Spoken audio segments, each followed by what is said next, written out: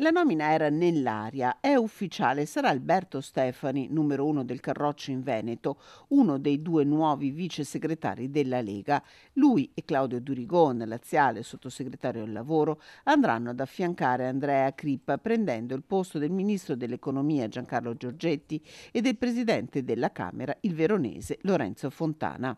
Tutto come previsto per il giovane deputato veneto, ex sindaco di Borgoricco e presidente della commissione parlamentare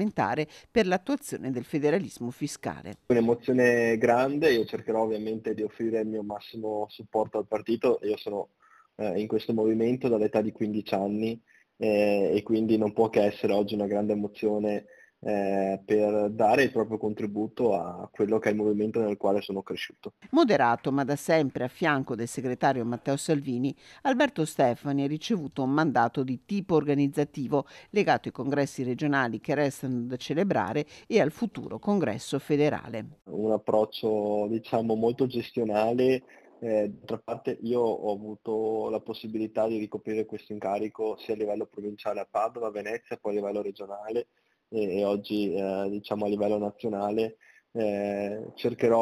ovviamente di mettere al servizio del partito, nonostante la mia giovane età, le esperienze che ho avuto eh, nella gestione del movimento. Un movimento da rilanciare partendo da quella che Stefani considera la sua forza, l'identità, che deve tornare al centro dell'azione della Lega, aggiunge, e guardando al Veneto, Stefani da più parti, candidato in pectore per la Lega come futuro presidente della regione rilancia, c'è ancora margine per un terzo mandato a Luca Zaia. Sto lavorando, anzi sono il primo firmatario, quindi anche pubblicamente eh, della proposta di legge per il terzo mandato di Zaia, eh, perché credo che Luca Zaia abbia mh, la possibilità, debba avere la possibilità di fare un altro mandato. Ovviamente eh, ci deve essere la convergenza politica di tutte le forze politiche centro-destra, abbiamo visto che Forza Italia si è chiamata fuori,